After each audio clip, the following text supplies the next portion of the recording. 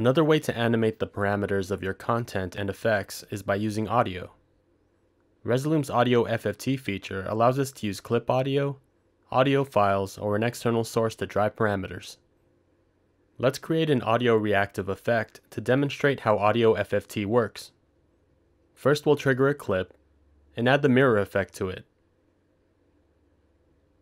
Change the X and Y parameters to 0.50 so that we get a nice symmetrical look. I want this effect to move in and out of its mirror position. This is what it'll look like when automated. The in-out parameter will move to the audio. If we click the small arrow by the in-out label, notice the FFT options. Let's select External FFT first. External FFT refers to an incoming audio signal from a physical source such as a USB audio interface or microphone. The first thing you'll want to do is make sure Resolume sees your equipment. We suggest making sure everything is hooked up prior to launching Resolume. Select Preferences from the menu and click on the Audio tab. Choose your physical audio source by selecting it under Audio Input Device. On this system we'll be using a USB mixer, which has audio coming in from one of its input jacks.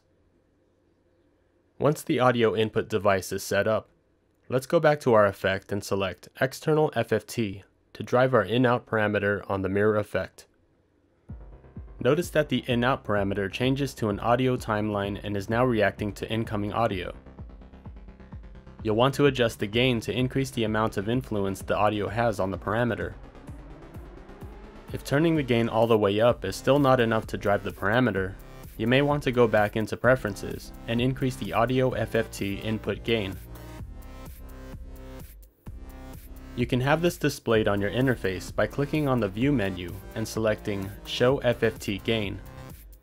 A gain knob will be added to the Resolume interface along with the waveform display. Now let's customize the effect so that it pulsates from the center and out. We'll reverse the playback mode by clicking on the left arrow. Let's also adjust the gain so the effect is stronger. The fall parameter controls how quickly the value falls back from a peak. We'll decrease the amount of fall, but you may want to increase it if you prefer a more twitchy feel. We can customize the effect further by clicking on the arrow next to the playback options.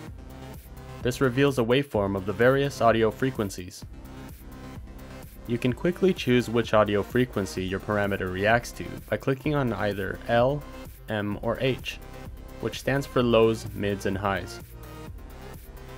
If you want to fine-tune the frequencies at which the parameter is driven by, drag the in and out points of the slider under the audio waveform.